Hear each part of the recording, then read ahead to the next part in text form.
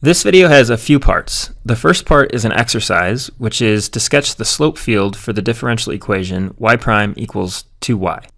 I haven't said what a slope field is yet, but I'll explain as we go. The first thing is to draw a pair of axes. This is the y-axis, and this is the x-axis. The second thing is that we need to remember that a solution to y prime equals 2y is a function y equals f of x that satisfies the equation. In other words, y is a solution exactly when the derivative of y equals twice the value of y at each point x. A slope field is a way to represent this idea in a picture. To turn this equation into a picture, we need to remember that the derivative of y is the slope of the tangent line to the graph of y equals f of x.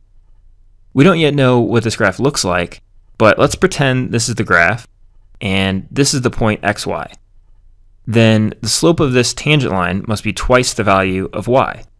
If the y-coordinate of the point is 1, for example, the slope of the tangent line would have to be 2 times 1. With this in mind, we can begin to understand what the differential equation is telling us about the graph of y. For instance, let's say hypothetically that the graph of y passes through the point 6, negative 1.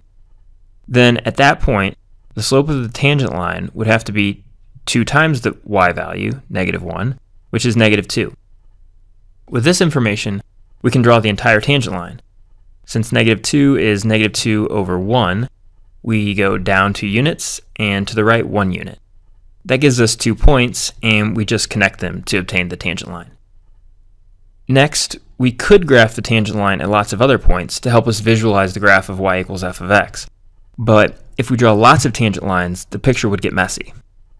Therefore, instead of graphing the entire tangent line, we'll just graph a small segment of it. Let's try this with a few other points. At the point 1, 1, the slope would be 2 times 1, which is 2, and the tangent segment would look roughly like that. At the point 2, 1, the y-coordinate hasn't changed, so the slope is still 2. By using the same idea, we can plot tangent segments at other points with this y-coordinate. Usually, We'll choose points that are separated horizontally by one tick mark on the x-axis. Next, we can move up 1 to the point 1, 2, for example. Since the y-coordinate of this point is 2, the slope would be 2 times 2, which is 4, and we can therefore sketch a segment that's a little steeper than before. Again, the slope doesn't change when we move horizontally. If we continue in this way, we see that each time we move up, the slope gets steeper. Now let's consider points on the x-axis. For example, at the point 0, 0, the y-coordinate is 0, and therefore the slope is 2 times 0, which is 0, and we get a horizontal line segment. Again, the slope doesn't change when we move horizontally. Okay, that's the idea, and now I'll just plot a few more tangent segments so you can see the bigger picture.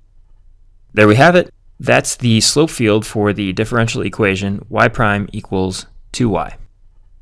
In the second part of this video, we'll solve a very quick exercise, which is to sketch the graph of the solution to y prime equals 2y, satisfying y of 0 equals 1. Here's a hint. We don't actually need to solve the equation. Instead, we can use a slope field. Since y of 0 equals 1, we know that the graph of y passes through the point 0, 1, which I'll highlight in the color orange.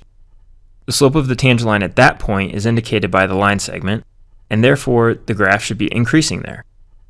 Once the solution increases to here, the new slope will have to be the same as all of these slopes. We can see that the graph will continue to get steeper. Now let's try moving from the y-intercept to the left.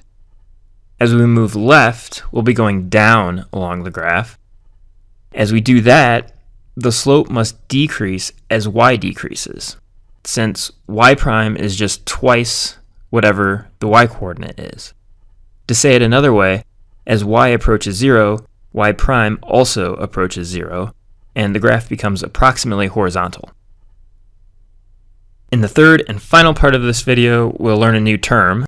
The question is, what do we call the graph of the solution to a differential equation? We call this an integral curve. Recall that in a previous video, we used an integral to solve a differential equation, so the term integral curve does seem appropriate. That's it for this video. I'll see you in the next one.